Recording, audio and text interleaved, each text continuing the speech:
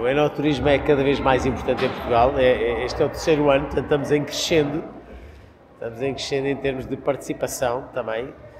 E o enoturismo é cada vez mais importante em Portugal. O turismo em Portugal tem vindo a crescer muito e o enoturismo tem estado como um dos fatores de distinção e de crescimento e de cada vez mais atração para os turistas em Portugal.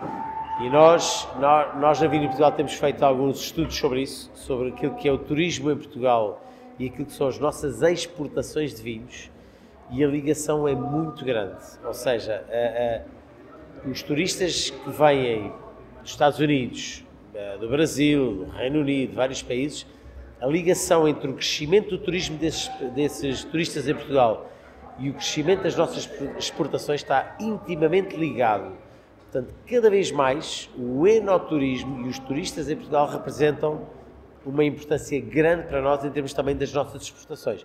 Portanto, há uma ligação forte e daí que esta, que esta área do enoturismo é cada vez mais importante para nós. É, o futuro é risonho, claro que o futuro é risonho. Nós, estamos, nós temos um país incrível em termos de diversidade.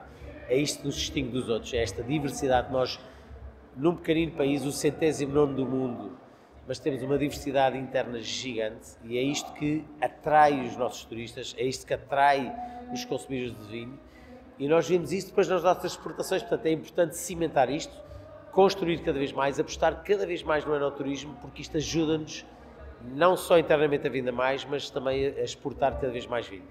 A gala de enoturismo da APENO é sempre uma gala que distingue os melhores dos melhores naquilo que são as votações dos sócios da APENO e, é uma, é, e, é, e, no fundo estas, este tipo de evento ajuda, ajuda a estimular ajuda a estimular ou estimula de uma, de uma certa forma a excelência do nosso enoturismo nacional. Nós hoje em dia temos uma, uma mostra de enoturismo, temos uma oferta de enoturismo que não nos envergonha, cada vez mais profissional e este tipo de prémios ajudam a estimular um bocadinho o setor na busca da perfeição, na busca de um, de um setor cada vez com melhor oferta e isto ajuda Portugal na sua oferta, nas suas vendas nacionais e nas suas exportações.